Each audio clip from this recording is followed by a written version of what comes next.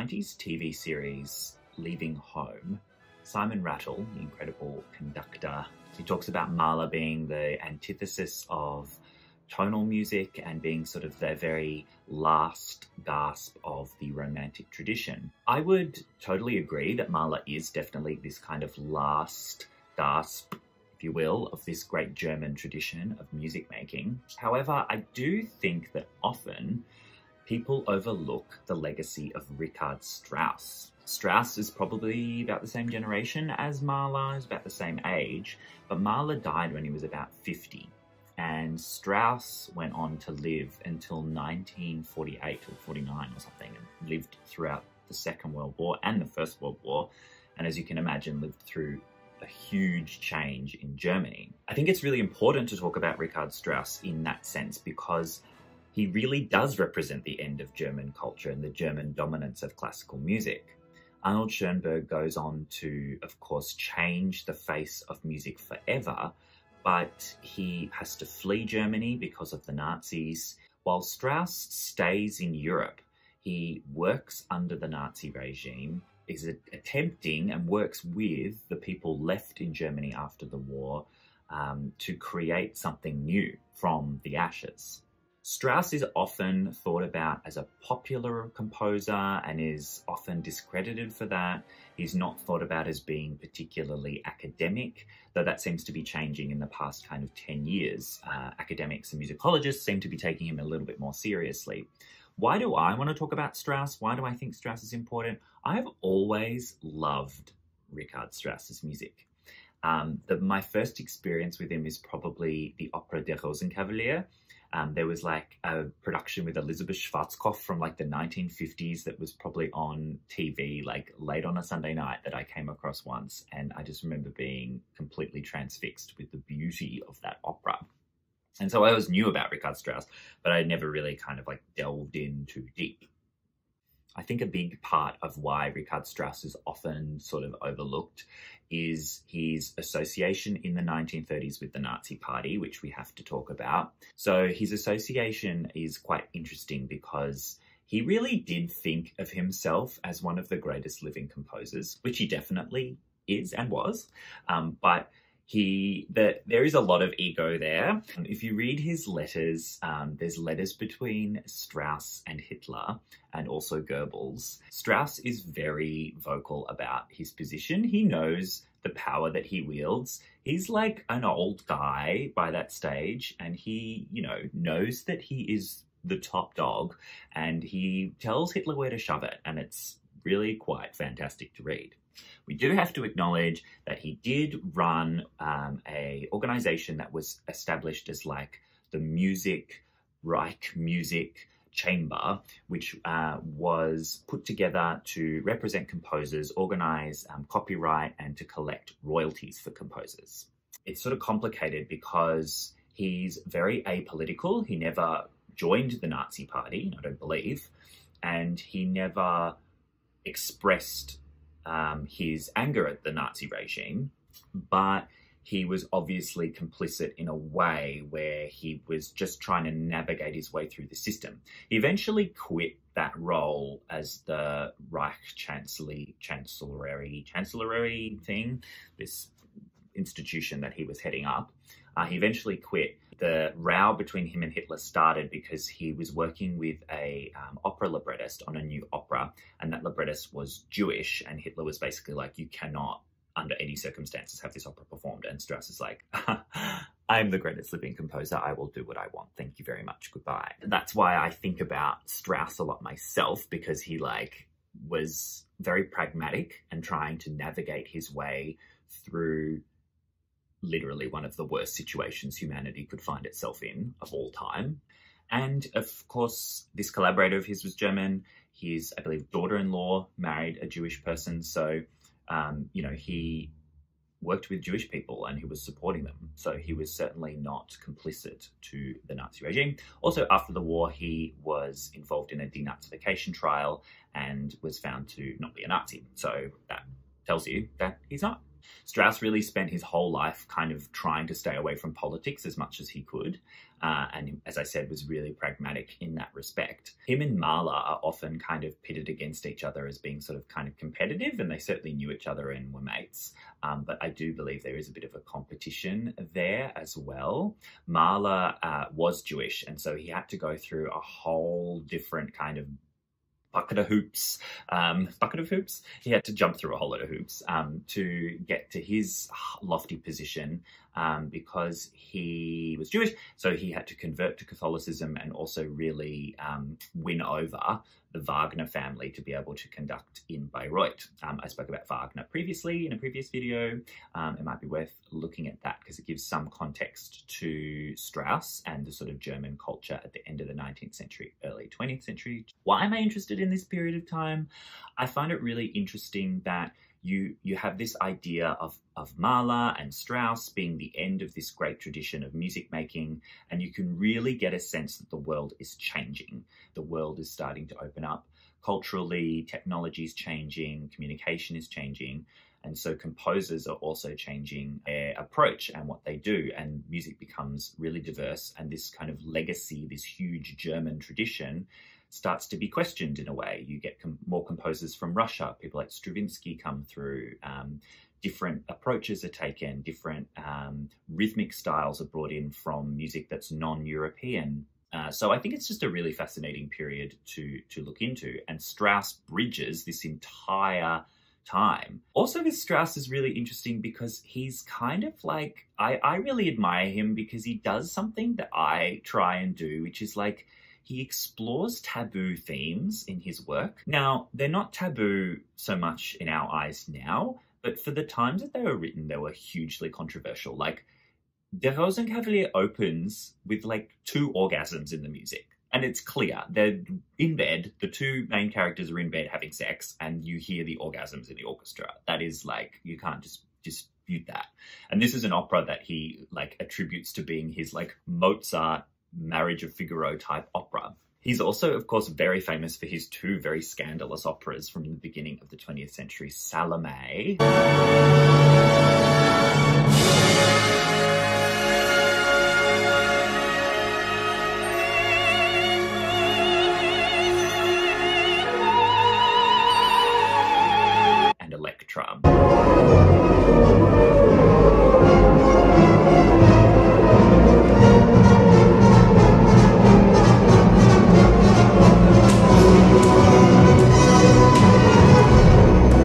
Two of my all-time favorite pieces of music. If you do not know them, you need to listen to these operas. Elektra especially, it is raw and guttural and, and earthy. Salome is sumptuous over the top.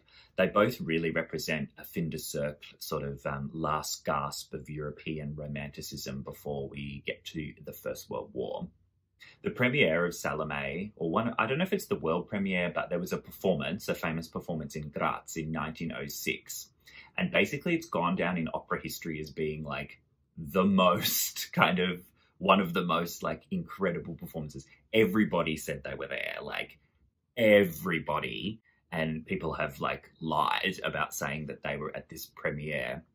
So Salome caused this huge controversy um, in its day and propelled Strauss into stardom. He became like a huge composer, super, super famous, conducting all over the world. I also want to talk a little bit about his conducting style. You can watch some footage of it. He basically just stands there and like doesn't really do much. He just beats time in one hand and just there's even somewhere I think a video of him like pulling out his watch and looking at his watch in the middle of a concert. So I think that speaks volumes to the sort of guy he was. Again, very pragmatic, very dedicated to his craft and dedicated to creating beautiful things, but also just aware of like human human life, humanity. He didn't, you know, there was no pretension about what he did. He wrote for The Voice, and again, I think that speaks to his sort of approach. He wrote orchestral music incredible orchestral music. He wrote for huge orchestras, probably the biggest orchestras you get. His early work is all tone poems, kind of like an opera without singers in a way, but he really finds his feet in writing opera and writing for the voice. His wife was a singer, wrote a lot for her, and he really just shines writing, especially for women, uh, women singers. His vocal writing is really exquisite. I think it's really important to talk about because, again, it shows a pragmatism, it shows a, a sense of drama, it shows this ability to write a beautiful singular line surrounded by orchestral music. Now, that's not to say that a composer that just focuses on, on orchestral music doesn't achieve beauty as well, um, but I have this theory with Strauss um, and music in general. In classical music, we love to like pair up composers. So in the history of classical music, you always get these like pairs, sometimes three, sometimes four, and it's like Mozart and Beethoven, Bach and Handel, Brahms and Wagner, Mahler and Strauss. Uh, and so I think it's interesting looking at these comparisons because they do draw the kind of two different approaches that are often there in music. That is, one is more based on theatre music, the other based more on concert music. Now, what do I mean by that? So, theatre music, we're talking ballet, we're talking opera. Uh, for concert music, we're talking symphonies, chamber music, concerti. That's not to say that the other composers didn't do the other genres. Um, they just seem to do their best work in one or the other. The most obvious example is Mozart and Beethoven. So Beethoven, of course, wrote his nine huge, important symphonies. Tons of string quartets, tons of piano music, tons of piano concertos, violin concertos, blah, blah, blah, blah, blah. He also wrote an opera, Fidelio, and it is very important. However, Mozart, who also wrote tons of concertos, tons of symphonies, tons of string, string quartets, chamber music, and was like super important for the music that he produced in that sphere, wrote so many incredible operas and arguably the operas stand as being his true masterpieces. The great high points of Mozart's writing is really in his operas. And his other writing that is excellent um, is so influenced by the opera. His concertos are almost aria-like pieces. You could almost, arguably, replace the solo instruments with singers sometimes. Of course, you can't, but you you you get that sense about them. Beethoven, it's different. The approach is different.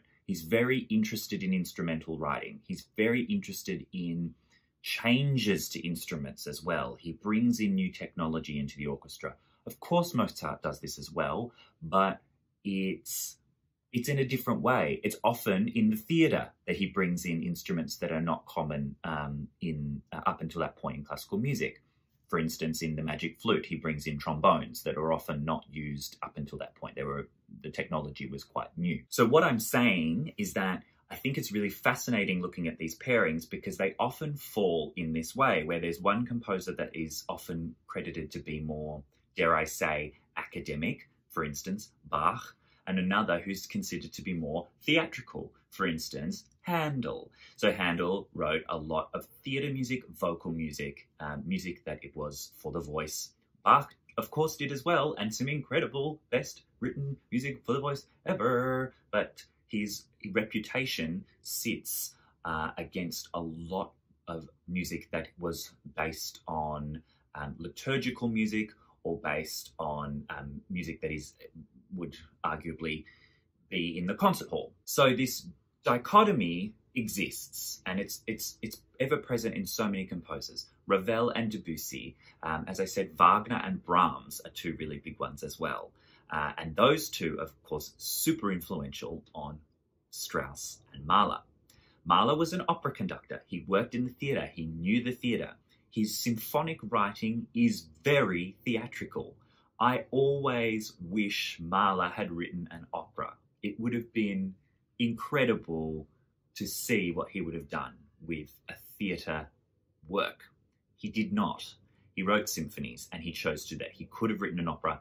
I think there is um, scraps of, of an opera, uh, but he never did. He wrote symphonies. Strauss wrote symphonies, but his reputation and his best work is in the opera. And I find that really, really fascinating. And again, I do believe there is a slight prejudice against that composers of the symphonic or concert hall are often put on a slightly higher pedestal to their theatre colleagues. So I do think that Richard Strauss does suffer a little bit from this kind of prejudice against the theatre composer in a way. I'm really fascinated by Elektra. I think Elektra is an incredibly underrated piece. It was written at a time before the First World War where, as I've mentioned in previous videos, the importance of Pierrot Lunaire and The Rite of Spring in the history of classical music and the history of music in general. Those two works change and free harmony to be thought about in a completely different way. And both works caused huge controversies when they were premiered. I would argue that Elektra falls in that category as well, and it's often overlooked as a piece of expressionist music. You listen to it and it sounds like Strauss. There's every Straussian kind of thing there. The huge orchestra, the beautiful vocal lines. He changes his musical world to be so covered in mud and blood, and it is dripping with just disgusting, awful, kind of this awful world um, in ancient Greece. The sound world he creates is like nightmarish and full of murder and the music is raw and has screams and it has huge percussion sections. It's just really, really, oh, it's really good music. And it's just not given the time. Like it's performed a lot and it is very difficult. Like it's like a conducting concerto. Like if you're a conductor of opera, to conduct Elektra is like a big deal because you you've been given a huge orchestra and a huge battery of sound that you need to conceptualize and prepare. And often the, the singing roles are so huge that you need like the best singers in the world to to achieve the effects that Strauss wants. So I think Elektra really needs to be rethought um, as a part of this early expressionist period. His harmony in, in Elektra is far more free. It's far more like Pierrot Lunaire. Uh, he doesn't stick to tonal centers. I think Elektra really needs to be rethought as a core work from this early expressionist period. In the work, Strauss has an approach similar to Schoenberg where his harmony is a lot more free, it's a lot more wild, it's really visceral. But once Strauss finished that work and saw the kind of um, violence in the music that he had created, he couldn't do it again, and he didn't return to that sort of style of writing. He went back into a more kind of traditional approach, especially in Der Rosenkavalier. He really wanted to kind of emulate Mozart in a way, and he created probably one of the most beautiful operas of all time. So I think it's really fascinating to look at Elektra. It is one work in a huge output by Strauss, but it does show a real vigor and a daring to really change and push music. I think he kind of scares himself with Elektra and he can't go back to that way of writing. And so he really um, tries to reinvent the end of Romanticism in a way. He returns in Der Rosenkavalier and the later works into a lot more comfortable, sumptuous surrounds. But there's always Elektra. It's always there. He's always got that that violence and visceral aspect in his output. Often Strauss is also spoken about in some of the reading I've done as kind of being a Wagnerian composer. He writes these operas in a Wagnerian style and, you know, that's the end. I think we need to also talk about Strauss in the context of his time and that he creates things that are completely different to Wagner. His humor, his grace, his beauty in his music is something that Wagner just isn't quite able to do. To me, Wagner is just full of pomposity and power and, you know, there's a real sense of gravitas in his music, and these are all positive things. I am not against this at all. I, I, as I said in my Wagner video, I love Wagner. I listen to it all the time. But the characters lack a little bit of humanity. They're very mythological, uh, and there is a certain lack of human spirit. Wagner wanted to create mythological work, works that were deeply rooted in German myths and, and gods, and so there needs to be a loftiness in the music. Strauss wants to write for people. You really see in the Strauss operas the humanity of these people. I think King Herod, for instance, in Salome, he's not depicted as this sort of high, highfalutin, you know, remarkable king.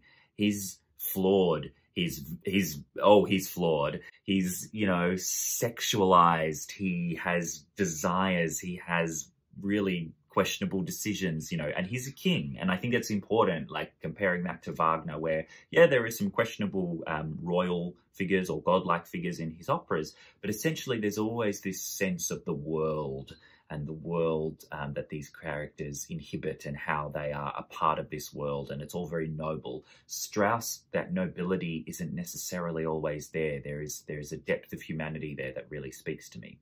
He has a tenderness in his music as well that resonates with me and I feel that Wagner sometimes lacks. And so I just disagree with this kind of lumping him in as this sort of Wagnerite who wrote Wagner-esque operas and, and that's that. I really do think Strauss kind of paved his own pathway. The critics often didn't like what he did, but the works were incredibly popular. And so he's entered into the canon in a way that He's often seen as being popularist, so he's often not thought about, um, again, as a serious composer, but I would argue that he was incredibly pragmatic and incredibly gifted and just completely rethought the way that we use the orchestra. Finally, I want to talk about the late period of Strauss's life, um, where he produced some really fascinating music. He moved to Switzerland during the Second World War. By that stage, he was quite an old man, like in his 80s or something. At the end of the war, he was really instrumental working with other musicians and administrators to bring back opera to Germany. And he had a really clear vision about how that could be done. He also wrote some incredibly interesting music in this time. One of his most famous pieces and most beloved pieces is The Four Last Songs, which he wrote at the very end of his life. It is almost an essay in the end of German culture. They're beautiful, they're heartbreaking, and he captures this, this sense of the curtain closing on German romantic culture. This great arc from the 1750s in Bach through to the 1940s. Um, and it's it's incredibly sad and beautiful to to witness that.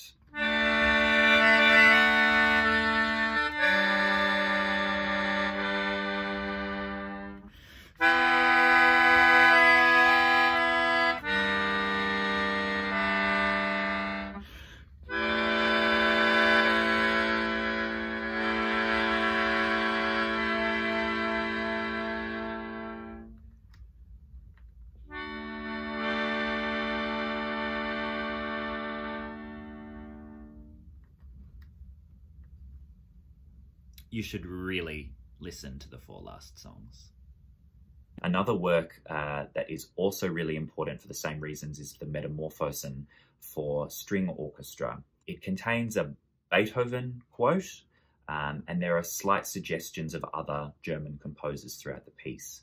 It's kind of an essay in the history of German music, and it comes to such a melancholic but also proud end.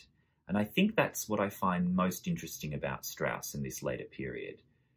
His pride for his culture, his pride for his output as a composer in the face of utter devastation.